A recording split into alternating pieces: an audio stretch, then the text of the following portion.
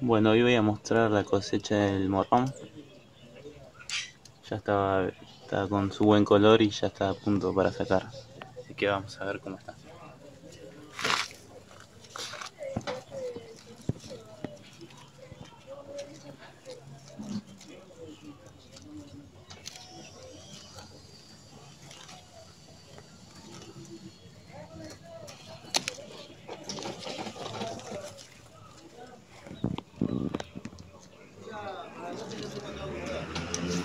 La verdad que bastante grande.